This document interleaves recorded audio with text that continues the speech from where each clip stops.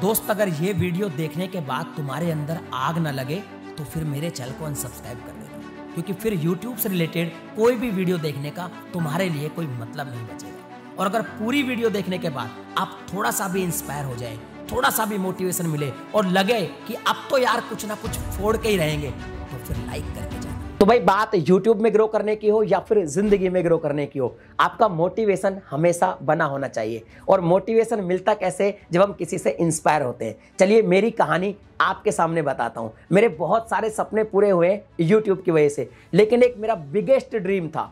और वो ड्रीम तब से था जब मैं स्कूल में पढ़ाई करता था, तब मुझे यूट्यूब का तो छोड़ो इंटरनेट का पता नहीं था, और वो भी अब पूरा होने जा रहा है, उसकी भी बात करेंगे। पहले कुछ छोटे छोटे सपनों की बात करते हैं। देखिए 2016 में एक मोबाइल 8000 के मोबाइल से जब मैंने अपना चैनल शुरू किया तो मुझे लगता था कि यार मैं दस बीस हज़ार रुपये महीने तो कमा ही लूँगा। और सच बता रहा हूँ दोस्तों, सात महीने तक कुछ कमाया नहीं था। लेकिन फिर भी मेरा मोटिवेशन बना रहा। पता है क्यों? क्योंकि और कुछ मैं कर नहीं पा रहा था। क्योंकि मैंने जॉब छोड़ दी थी मीडिया की और मेरे को सिर्फ़ यही आता है, आप लोगों से बात करना कैमरा फेस करना स्क्रिप्ट लिखना आर्टिकल लिखना। या तो मुझे मीडिया में जॉब करनी थी और या फिर मुझे आपके लिए वीडियो बनानी थी। तो मैंने चुना यूट्यूब को और वीडियो बनाने को। मोबाइल से वीडियो बनाता रहा। आठवें महीने में पहली पेमेंट आ गई। घर की अगर बात करते हैं, मैंने आज तक मेरा घर कभी भी नहीं दिखाया कैमरे पे, क्योंकि मुझे सिंपैथी नहीं चाहिए थे यार। तो मैं आपको बता दूँ 42 स्क्वायर यार्ड का मेरा एक छोटा सा क्वार्टर था, और उस क्वार्टर की वीडियो मैंने बना के रखी हुई है उसी मोबाइल से। अभी नहीं दिखाऊँगा। टाइम आने दो, तब दिखाऊँगा। अभी तक मैंने इसलिए नहीं दिखाई, क्योंकि सिंपैथी नहीं चाहिए थी। प्रमोशन नहीं कराया किसी से। आजकल नए यूट्यूबर आते हैं ना, हमारा प्रमोशन कर दो तभी हम सफल हो जाएँगे। मेरे भाई, एक चीज़ हमेशा ध्यान रखना। कि जो पहचान से आपको काम मिलेगा, वो कुछ टाइम चलेगा और जो काम से पहचान मिलेगी, वो ज़िंदगी भर चलेगी। तो यार, काम से पहचान बनानी थी, इसलिए सब कुछ नहीं किया। और वो घर का वीडियो आज भी रखा है, नहीं चाहिए थी सिंपैथी नहीं दिखाया। 42 स्क्वायर यार्ड का एक छोटा सा घर, जिसमें हम लोग पाँच फैमिली मेंबर रहते थे ओनली टू कमरे थे और वो कमरे भी बिल्कुल जर्जर स्थिति में थे।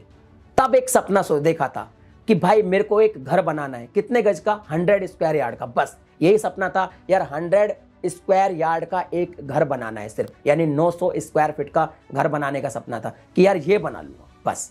तब तक मैं यूट्यूब को नहीं जानता था। मुझे पता नहीं था यूट्यूब का वाई क्या होता है। लेकिन जब मैंने यूट्यूब पे काम स्टार्ट किया उसी मोबाइल से, थोड़े ही दिनों के बाद मैंने नया मोबाइल भी ले लिया। उसके बाद धीरे धीरे स्टूडियो बनाया। आज मैंने ये फ्लैट लिया। वो घर अभी भी है।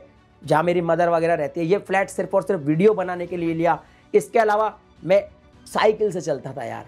कार खरीदी मैंने, कार खरीदे भी तीन साल हो गया आपने देखा होगा, मैंने कार भी खरीदी ये सब सपने यूट्यूब पे पूरे हुए और अब एक बिगेस्ट जो ड्रीम था, वो घर बनाने का, वो पूरा करना था कि यार मुझे एक कम से कम 900 स्क्वायर फीट 100 स्क्वायर यार्ड का एक घर बनाना है। और यूट्यूब को मैं थैंक यू बोलता हूँ और आप सभी को थैंक यू बोलता हूँ मैंने जितनी भी मेहनत करी, आप सबको पता है, कभी छुट्टी नहीं करी, लगातार मैं वीडियोस अपलोड करता हूँ, लगातार वीडियोस अपलोड करता हूँ, ये ज़रूरी नहीं है। ज़रूरी ये है कि मैं लगातार अपने कंटेंट को इम्प्रूव करता हूँ। आप डेली देख सकते हैं मेरे कंटेंट में कितनी इंप्रूवमेंट है। आप डेली जब देखेंगे तो आपको पता चलेगा, मैंने स्किल्स को इम्प्रूव किया, मैंने एडिटिंग को इम्प्रूव किया, मैंने अपने गियर्स इंप्रूव किया, लेकिन लगातार मैं इंप्रूव करता रहा करता रहा करता रहा, और यूट्यूब में यही चाहिए।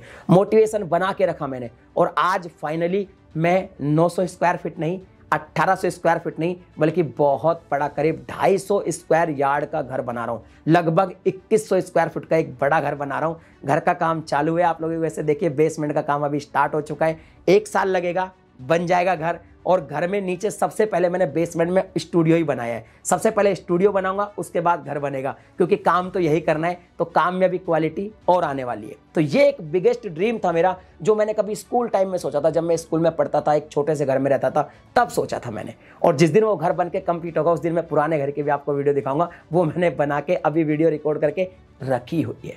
तो दोस्तों, ये चीज़ है। जब आप किसी से इंस्पायर होते हो, आपको काम लगातार करना पड़ेगा। मैं आपको एक एग्ज़ाम्पल देता हूँ, बहुत ही अच्छा। तो दोस्तों, आज जहाँ भी आप खड़े हो आप आपको मैं इस रबड़ के एग्ज़ाम्पल से समझाता हूँ। ये रबड़ एक फ्लेक्सिबल रबड़ है। हमारी बॉडी जो भगवान ने दी है, वो भी फ्लेक्सिबल है। तो आप यहाँ हो, यहाँ अगर आपको जाना है तो आपको स्ट्रैच करना पड़ेगा। और स्ट्रैच करने पे ज़ोर पड़ता है। तो वो ज़ोर आपको भी अपने दिमाग पे डालना पड़ेगा, अपने आप को स्ट्रैच करना पड़ेगा। थोड़ा बाहर निकलना पड़ेगा, बस। फिर आप सक्सेस हंड्रेड परसेंट हो जाएँगे। एक चीज़ ध्यान रखना, अचानक से स्टार्ट मत कर देना, अचानक से सारा लोड मत लेना, सब कुछ एक साथ मत करना, क्योंकि अगर मैं इस रबड़ को बहुत तेज़ी से अचानक खींचूँगा तो ये टूट जाएगा। यानी पैशन के साथ पेशेंस धैर्य बहुत ज़रूरी है। अगर आप अपने पैशन को फॉलो कर रहे हैं तो धैर्य के साथ करें, एक दिन आपको सफलता ज़रूर मिलेगी। और ये वीडियो पसंद आई लाइक करके जाना यार चैनल को सब्सक्राइब कर देना, मैं आपको यूट्यूब टिप्स भी देता रहूँगा और ऐसे मोटिवेशन भी देता रहूँगा। चलिए यार दोस्तों, मिलते हैं अगली वीडियो में, एक नए टॉपिक के साथ। तब तक के लिए